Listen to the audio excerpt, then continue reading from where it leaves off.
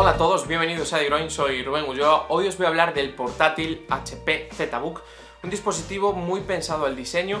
a la movilidad y lo cierto es que sin renunciar a casi nada más, podríamos decir. En este caso, vamos a empezar por el diseño. Tengo que reconocer que no soy muy fan de los portátiles HP. He tenido malas experiencias con ellos y cada vez que pruebo uno tengo que reconocer que siempre entro con un poquito de miedo a, a probarlo. Sobre todo el diseño, ¿no? He tenido alguna experiencia mala en este sentido y bueno, he visto que HP ha hecho pequeños cambios en el diseño para subsanar estos problemas de generaciones anteriores, así que en este sentido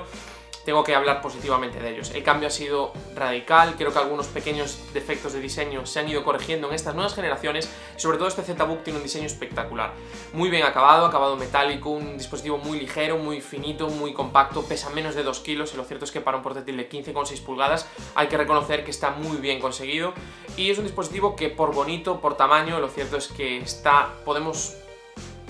me atrevo a decir que en el top 5, en el top 10 eh, de portátiles que encontramos ahora mismo en el mercado, porque tiene algunos acabados y algunos pequeños detalles que en otros productos similares me han gustado menos y en este caso tengo que hablar muy bien de este HP ZBook. A nivel multimedia contamos con una pantalla de 15,6 pulgadas con resolución Full HD, acabado mate, buenos colores, buenos ángulos de visión. Sí que es cierto que a muchos sé que nos gustan los acabados mate, alguna vez se me ha hecho algún comentario, no me gusta esta pantalla o el acabado mate,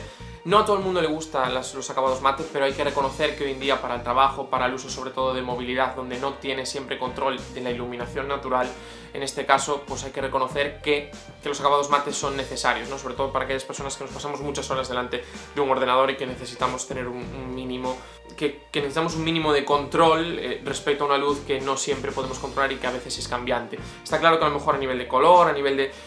de edición de fotografía extrema o, vídeo, talonaje de vídeo y tal, bueno, los acabados brillo te transmiten un poquito mejor esos colores. Aquí a lo mejor los colores le falta un poquito de intensidad, que está claro que está que es por ese acabado mate, pero yo las dos semanas que he tenido este dispositivo, lo cierto es que he quedado encantado con el uso y lo he podido utilizar en cualquier sitio y la pantalla es más que, más que solvente, no he tenido ningún tipo de problema en este sentido. A nivel de hardware tenemos un i7 de octava generación, es un modelo U con lo cual solo tenemos dos núcleos, eh, no tenemos cuatro núcleos como los más potentes, eh, en este caso teníamos 16 GB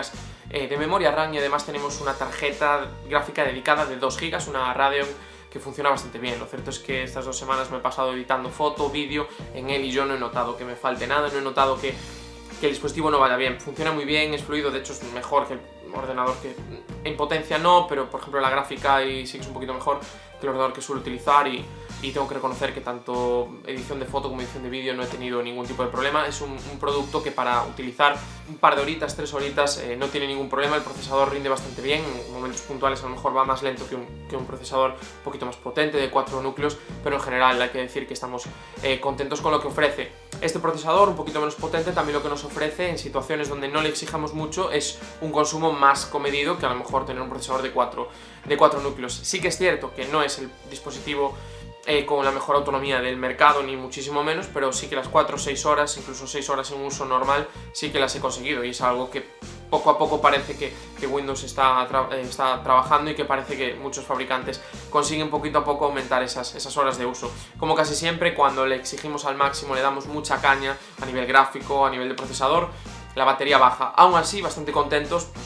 para llevar en la mochila sin el cargador y, y pasarte a lo mejor un fin de semana en el que quieras hacer unas cuantas cosas sin estar los dos días seguidos, pero sí unas cuantas cosas, sin tener miedo a que te quedes eh, sin batería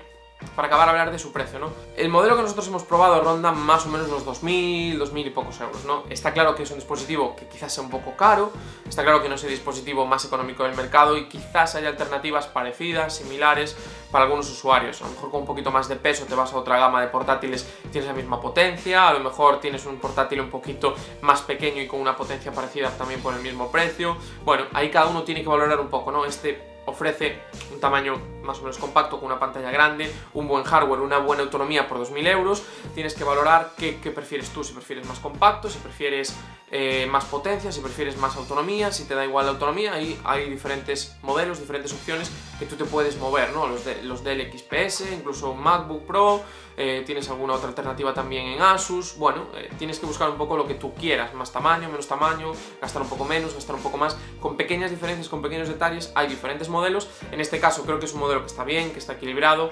pero quizás a lo mejor por 2.000 euros, yo, a nivel personal, para mí, no me importa